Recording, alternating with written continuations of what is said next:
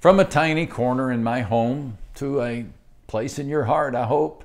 God bless you. God bless you. Max Lucado here, inviting you to hang out for a few minutes and talk about eternal life. Eternal life. If you don't want to or you can't, I get it. Let us know how to pray before you slip out. But if you can stay around and think about this verse For God so loved the world that he gave his one and only Son, that whoever believes in him shall not perish but have eternal life.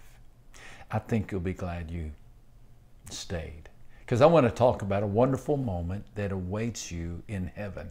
And that is the moment that God rewards you for the good things done in this life. The scripture says He will bring our deepest secrets to light, and He will reveal our private motives. And then God will give everyone whatever praise is due. 1 Corinthians 4 5. Can you imagine that moment? Now, we're saved by grace, but our deeds will be recognized. We're not saved by our deeds, but our deeds will be recognized. We'll be face to face with the God of the universe, and we will hear Him say, Well done, good and faithful servant. The scripture says God is fair, and He will not forget the work that you have done and the love that you have showed, showed for Him by helping His people. Do you know that scripture? Hebrews 6 and verse 10. You see, our just God will recognize the faithful stewards of life. If you invest your gifts to His good, He'll give you more gifts in eternity. If you enlist your talents to His honor, He's going to give you more talents to be invested in eternity. You see, the same pen that records our impure thoughts also makes note of our pure thoughts. Again, that scripture I read, He will bring our deepest secrets to light and He will reveal our private motives. And then God will give everyone whatever praise is due. I am so excited that someday you're going to hear God say, Well done, well done. That moment will make your struggles evaporate. God's going to walk you through your life day by day, moment by moment, year by year, month by month. And as if a video replays your life, He will issue commendation after commendation. He's noticed all those things that you have done. That time you gave up your seat on the bus, well done, He'll say. That time you greeted the new student in your classroom, well done, fine job.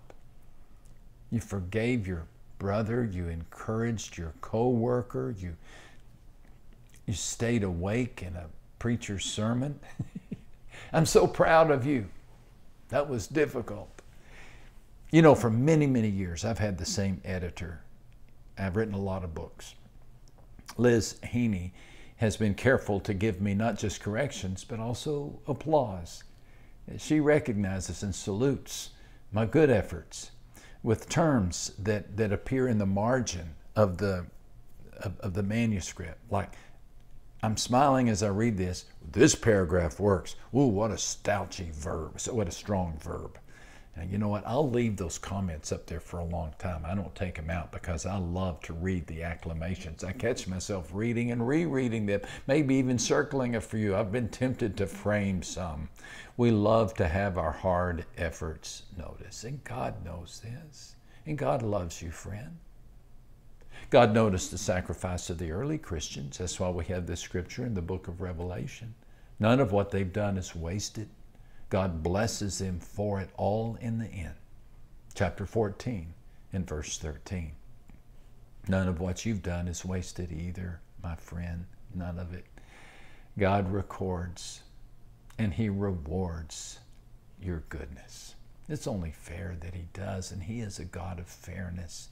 He is a just God, and He will declare, He will declare both the pardon of His people and He will and, and, he will also declare the service of his servants. Isn't that good to know? You, you know, your service is remembered by God, and you will not regret any work that you do for God on earth. You won't. You won't. Somebody asked me recently, What do you want on your cemetery? And I thought of a verse, an old, not out of scripture, but somebody wrote in a poem. Life is short and then it's past, and only what's done for Christ will last. That's true. You know, only what's done for Christ will last. So do everything you can for Christ. Why don't you? Do you feel like your best years have passed you by? That's hogwash. You're going to do your best work in heaven. Do you regret wasting seasons of life on foolish pursuits? Well, I do too. But you know what? We're to we can stop our laments because we have an eternity to make up for lost opportunity. Are you puzzled by the challenge and the challenges of these days? Well, see yourself as a, as a raw jewel and God as a lapidary, and He's polishing you for your place in His eternal kingdom. Let's not see this life, friend. Let's not see this life as the Kentucky Derby. The truth is, we haven't even arrived for the big race. The big moments lie ahead. The big moments lie ahead on the other side of the grave. 500 years ago, the sailors feared the horizon. Sail too far and risk falling off the edge of the earth, they thought. And common wisdom of the, of the ancients warned against any type of courage in the face of the unseen. So did the monument at the Strait of Gibraltar. Did you know at one time the Spaniards, when they held dominion over both sides of the strait, they, they, they put a message at the narrowest margin where Africa can see Europe. They erected the Pillar of Hercules, this huge marker, which bore in its stone the three word Latin slogan, Ne plus ultra, or no more beyond.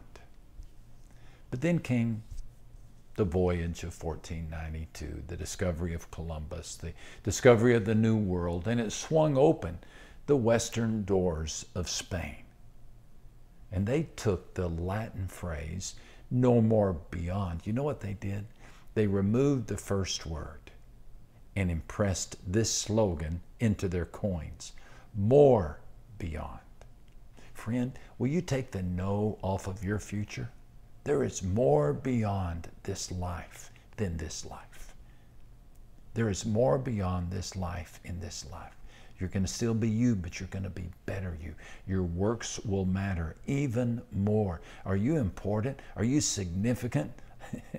Only important enough to live forever with God. That's what He thinks about you. Besides that, you ain't much. Hey, hang in there, friend. One day at a time, be strong, but don't think for a second that your life is just this life. The best is yet to be.